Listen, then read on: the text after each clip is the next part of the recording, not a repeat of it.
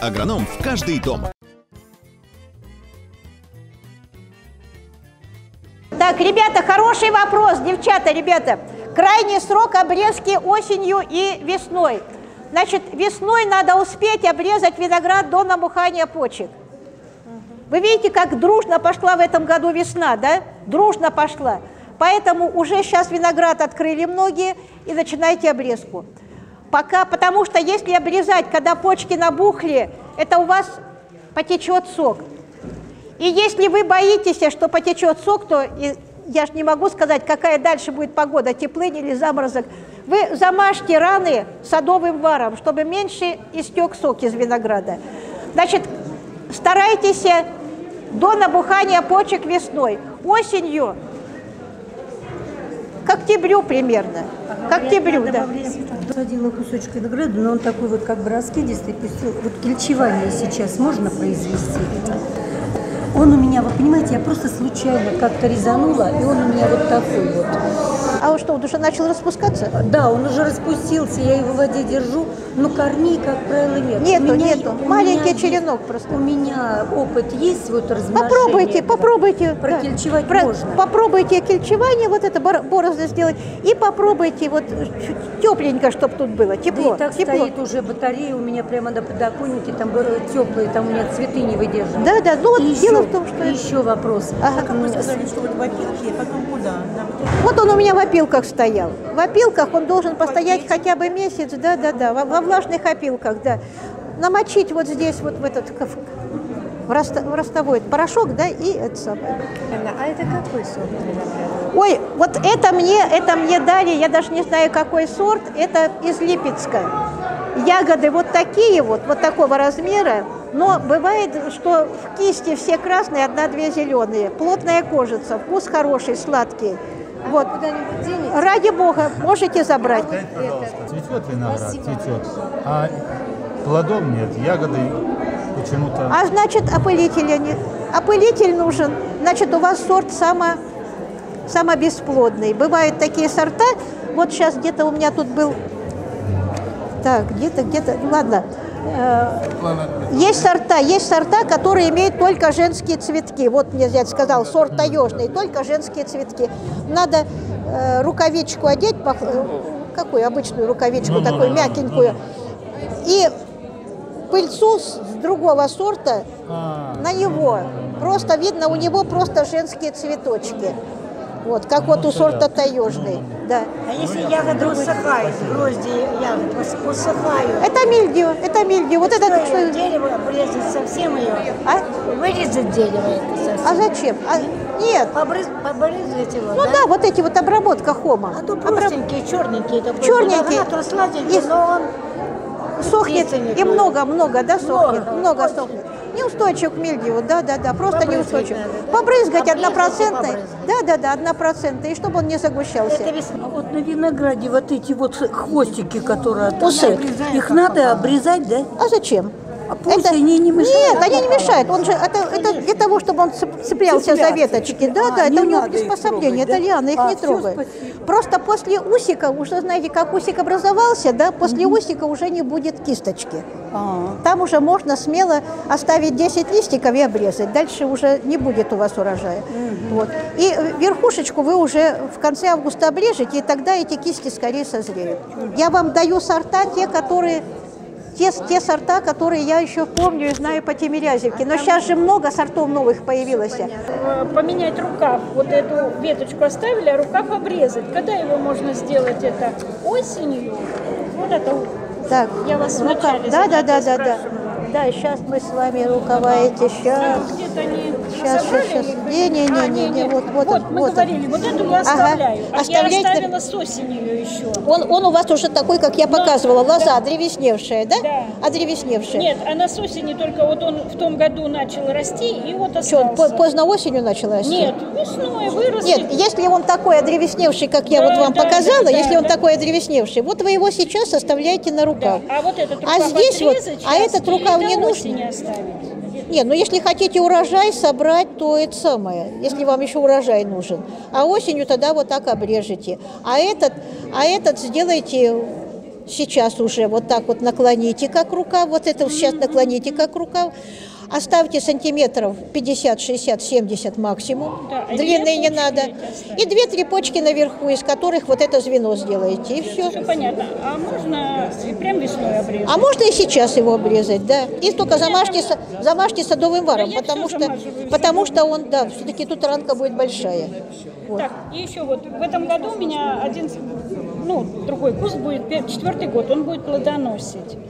И так вот э, эти самые, как сказать, узлы, эти почки, сколько? 40, 20 оставить почек. А, Это на плодоношение? Ну вот просто посчитайте вот на этой длинной так лозе. учитывать и вот эти вот, э, которые будут вот эти расти, тоже их А сучки, сучки замещения? Да, есть, да. Да, да, И и эти учит- почки, и эти почки учитывает. Их учитывать. Да, да, да, да, да, да. Ага, и их уже учитывает. Ага. Скажите, ремонтантная малина красная, какой сорт? Ремонтантная красная малина, да? Значит, э, мне очень нравится, очень нравится, во-первых, желтая, оранжевое чудо мне нравится, из сортов Ивана Васильевича желтые. Она рано созревает, вкусная, сладкая, только ее не надо сажать опять где-то в тень, иначе тоже на ней появляются болезни. А, из красных сортов Брянская дива мне нравится, Брянская дива. Но последние годы Брянская дива почему-то дает сразу двойняшку. Ягода, вот как только, пока нету жары, вроде идет нормальная ягодка. Как только жара, сразу вот два стержня и двойняшка ягода получается. Вот это такое появилось.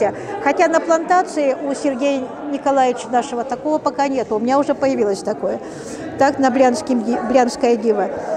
А, Вот, теперь э, поклон Казакову мне нравится. Пусть ягодка поменьше, чем брянская дива, она красненькая. Поклон Казакову хороший сорт. Ремонтантная, да. Я пробовала еще прививать. Вот у меня как-то вроде почка пошла, а потом не идет и все. Вот как пробовала, что-то или не так я что-то делаю. Прививала в расщеп. Расщеп. А в расщеп, а в расщеп вот вы когда делаете, да, старайтесь, чтобы э, к краю, потому что камбий находится между корой и древесиной. Так вот, черенки у меня забрали камбий, вот тот, который активные Да, да, да, клетки да, между корой и да, да, древесиной. Если вы в центр, в паренхиму ставите, оно не приживается. Он сначала за счет своего запаса распустится, а потом усохнет. Надо Краешку. краюшку, Стал с одинаковыми диаметрами, чтобы прямо вот. краюшку, Что-то да. про- несовместимость может быть. Ну, А может, может не вроде сов- Почечка пошла, а потом Да, может несовместимость, может быть условия засушливые тоже. Вот еще не очень Вот расскажите мне, как обрезать Если честно, честно сказать, у меня лещина дома растет, и я выпиливаю только очень старые кусты. Только выпиливаю очень старые ветки, очень старые. Или ветка идет внутрь куста. То есть тут принцип тот же, чтобы свободно освещалась, свободно освещалась каждая ветка с разветвлениями, чтобы не было, чтобы ветка скрестилась с веткой, чтобы ветка не лежала над веткой. Вот. Подход тот же самый, что и у плодовых деревьев. Чтобы снять, чтобы снять конкуренцию за свет. Винограду 4 года, что надо обрезать? Что обрезать, когда винограду 4 года и когда он плодоносит. А вот то, что мы говорили, лоза, лозу, вот та лоза, что выросла в прошлом году, ее надо укоротить сейчас на 5-6 почек. Эту лозу, да, на 5-6 кочек прошлогоднюю лозу укоротить. Вот. Потому что если человек не формировал ничего, я ж не могу без куста это увидеть. Надо видеть куст его. Но лозу, которая выросла в прошлом году, однозначно надо укоротить на 5-6 почек. Как быть, если проводников стало много у яблони, сразу четыре, и все равной длины, и все раскинулись, и нет вертикального? Опять же, если проводники еще травянистые, то их надо один оставить вверх, один. А эти, если они не одревеснели, вот так хотя бы отогнуть. Если они... А если уже одревеснели, то ну, хотя бы один в этом году выпилить. А на следующий год другой лишний выпилить, рану замазать. То есть сразу нельзя все выпиливать или все отгибать, если они уже не отгибаются. Значит, там подход такой. Проводник растет вертикально, да? А надо, чтобы был один вертикальный, от него отходили боковые. Если растет вертикально, то это будет 5-6 метров, дерево вверх идет.